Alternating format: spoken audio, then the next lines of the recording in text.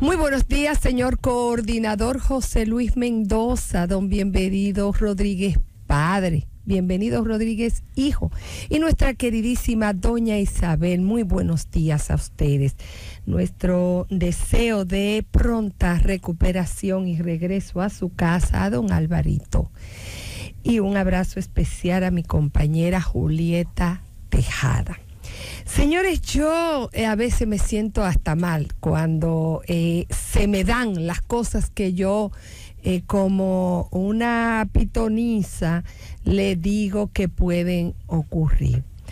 Cuando iban a mm, suspender, que fue el término utilizado por la Dirección General de Compra y Contrataciones, eh, que en los efectos fue revocar unilateralmente los contratos de compraventa de asfalto a, al señor eh, Sargent. Bueno, ustedes saben quién es. Sargent Petroleum es el señor Nabú Navá el señor de que por años ha dominado de manera eh, casi en solitario, hegemónica, la venta de asfalto a obras públicas, a la OISOE, a todo el mundo, inclusive, señores, al, al Ministerio de Turismo.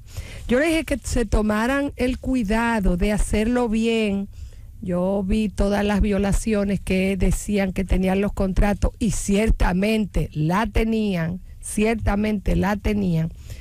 Y pero que se tomaran el cuidado de hacerlo, porque ya en los 36 años que he tenido en el Estado, he visto vez tras vez y bajo todas las administraciones lo mismo.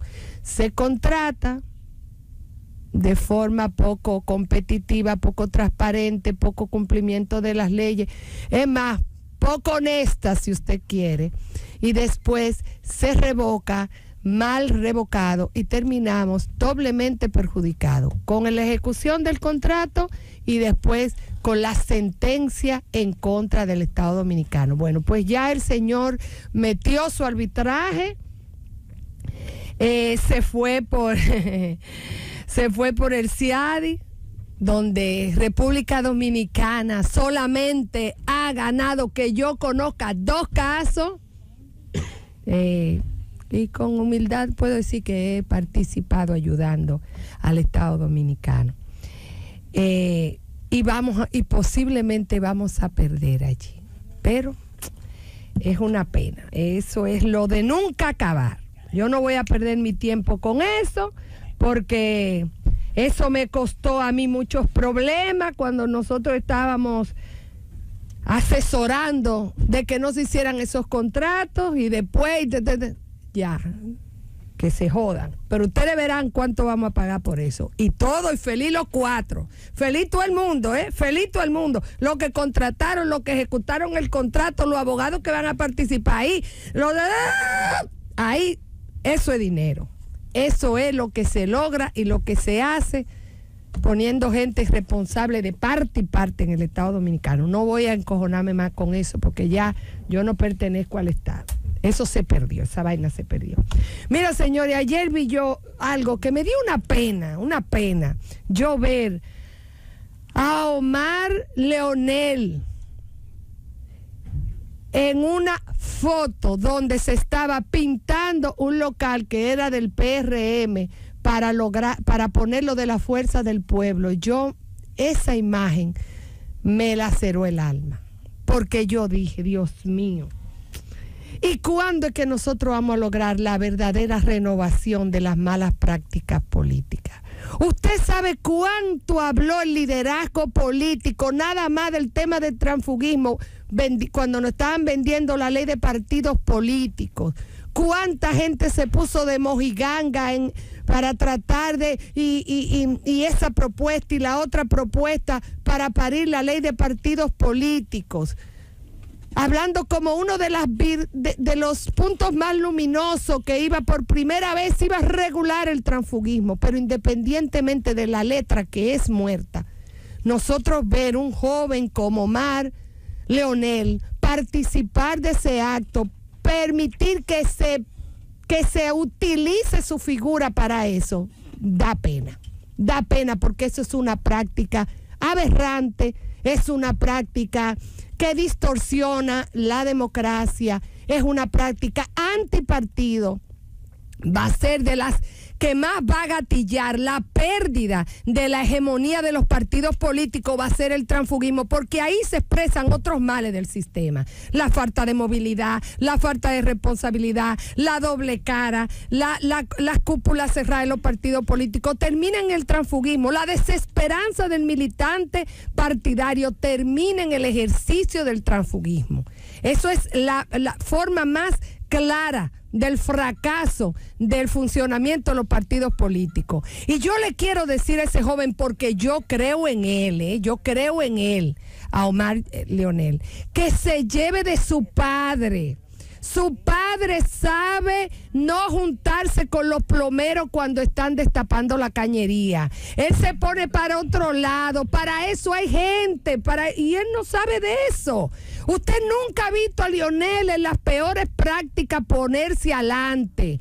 No se presta para eso. Él tiene y sabe que hay por detrás otra gente y él deja que los plomeros hagan su trabajo pero no se pone delante de la cañana y se mete a la vaina de, de, al, al, cieno junto con los plomeros.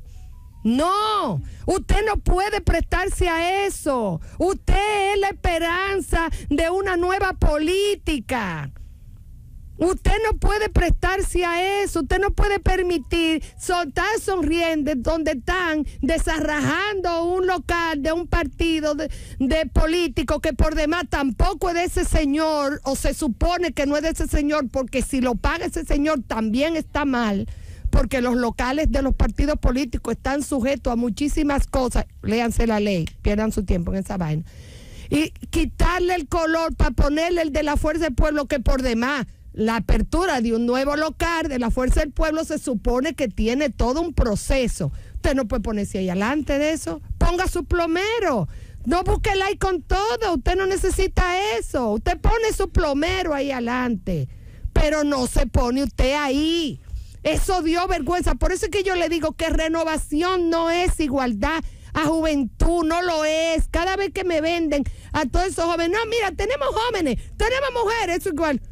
Ponen mujeres, mujeres sin compromiso con la equidad de género, sin, sin ni siquiera orgullo de su condición de mujer. Están poniendo una mujer ahí. Y cuando viene a ver, represéntame el machismo que cualquier hombre. Así mismo los jóvenes. Si usted no va a adoptar nuevas prácticas y se va peor a permitir poner adelante de las peores prácticas, usted está haciendo lo peor de lo nuevo. De verdad yo sentí en mi dolor verlo a ese muchacho. No, no, yo no lo esperaba de él. Y le digo a él que se lleve de su papá, que se lleve de su papá, que su papá nunca reivindica ni sabe, Emma, se hace el pendejo. De toda esa yo yo no yo no estaba ahí, yo no sé de eso. Ni siquiera, señor, usted va a encontrar una foto hace un año, Emma, de hace un año, me atrevo a decir, tú no hay una foto pegado de Leonel Fernández con Félix Bautista. Yo le pago que usted me busque una foto pegado de Leonel Fernández en un acto público para que usted vea que usted no la va a encontrar. Ni de él, ni de otros que son o pudieran ser tan cuestionables como Félix Bautista con, oye, con, mm, con justicia o no, pero que pudieran serlo, porque en por abajo se le atribuyen las mismas cosas. Y aún no estando tan, tú sabes, quemadito, Leonel no se pone al lado de ellos. Y son dirigentes grandes de su partido. Grandes. No lo hace. Entonces tú te vas a poner en eso, Omar Leonel, tú puedes mucho más. Es más, yo voy más lejos. Muchos de los jóvenes que te, a lo que te ponen al lado no tienen ni la formación ni las capacidades que tú tienes. Te lo digo yo, que es una vieja en esto y tengo ojo de buen cubero. Póngalo plomero, haga esa cosa y no se tire a la mierda que usted no lo necesita.